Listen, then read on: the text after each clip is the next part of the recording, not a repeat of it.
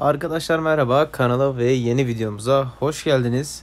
Bugünkü videomuzda sizlere çok güzel bir trend indikatöründen bahsetmek istiyorum. Bu indikatör bir studi indikatörü, strateji indikatörü değil. Fakat ben şu anda askerdeyim bildiğiniz üzere askerden geldikten sonra bu indikatörü stratejiye çevirme ile ilgili bir takım çalışmalar yapacağımın bilgisini vereyim. Çünkü çalışma mantığı benim çok hoşuma gitti.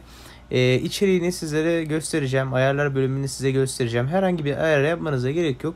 Ben ortalama bütün zaman dilimlerinde gayet başarılı çalıştığını gördüm. Sizlere sadece renklendirmesiyle ilgili göreceli olarak birkaç ayar e, söyleyeceğim yapmanız gereken.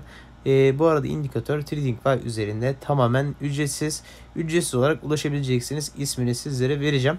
Öncelikle nasıl çalıştığını bir bakalım arkadaşlar. Çalışma mantığı çok e, basit. E, kırmızılar düşüş, sarılarda yükselişe doğru bizlere trend yönünün döndüğünü söylemeye çalışıyor.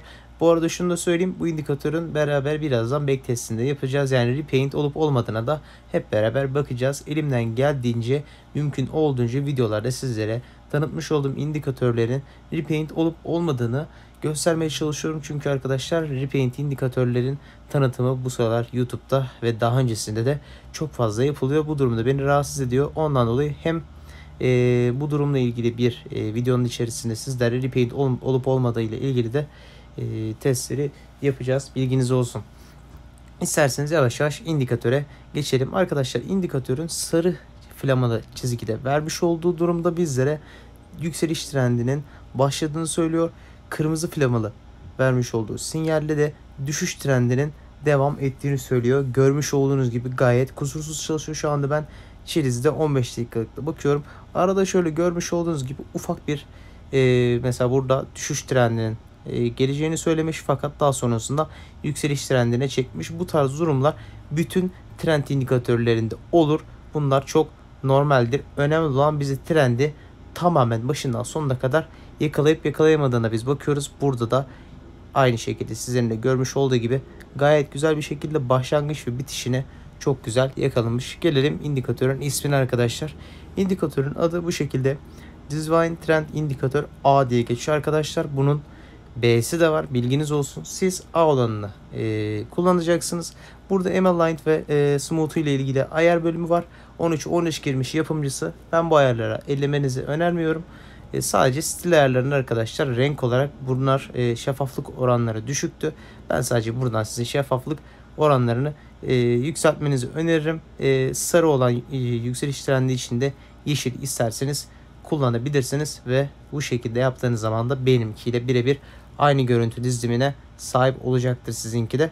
Ee, şöyle bir isterseniz backtestini de yapalım arkadaşlar sizlerle beraber. Repaint yapıp yapmadığında en azından hep beraber görmüş oluruz. Çünkü çoğu arkadaş TradingView'ın premium versiyonunu kullanmadığı için backtest yapılmıyor. Yani repaint olup olmadığını anlayamıyor. Bunu anlayabilmesi için de e, mutlaka bir alarm kurması gerekiyor. Ve e, bu hem zaman kaybı hem de e, madem repaint indikatör e, neden e, bu kadar boşa insanın vaktini harcatıyor diye e, insan kendini soruyor açıkçası. Benim de ben askerdeyken de paylaşmış olduğum bir iki e, önceki videoda daha doğrusu ilk videolarda e, stüdyo indikatörlerinden bir tanesi sanırım repaint veriyormuş. Bunu arkadaşlar ben e, repaint verip vermediğini test ediyorum fakat sizler gibi detaylı test edemediğim için ondan dolayı tabii ki de arada ufak pürüzler olabiliyor. Zaten onunla ilgili de yorumlar kısmında ben açıklamada belirtmiş oldum. Onu da çözdük. O indikatörde çok güzel yani 6-7 osilatörün ve stüdyenin birleşimi olduğu için de yine de videosunu silmedim duruyor. Sadece buy ve sell sinyallerini e, repaint yaptığı için ben kullanmanızı önermiyorum demiştim. Onun dışında e, kullanılmayacak bir indikatör değil de eski videolarınıza e, göz atarsanız onu da görebilirsiniz. Herhangi bir problemi yok. Kullanılabilir. E, bu indikatörde görmüş olduğunuz üzere gayet güzel çalışıyor arkadaşlar. Backtestinde de herhangi bir repaint durumu yok. İsterseniz şöyle bir şu an 15 dakikada biz bakıyoruz çünkü.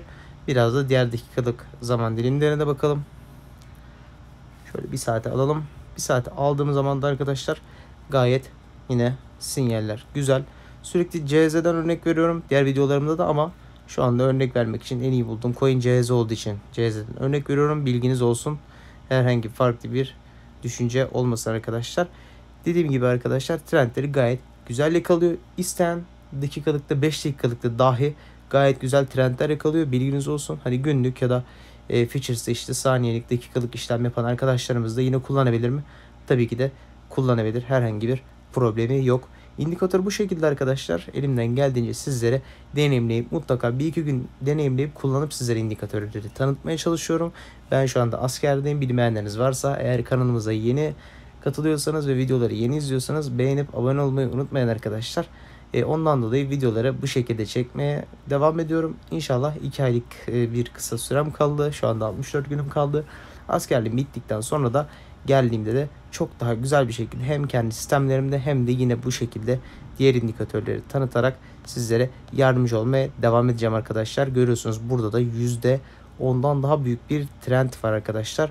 Yine indikatör bunu da göz önünde bulundurup bizleri işleme sokmuş. Bilginiz olsun. Videonun sonuna geldik. Beğenmeyi ve abone olmayı unutmayın arkadaşlar. Bir sonraki videolarda tanıtımlarda görüşmek üzere.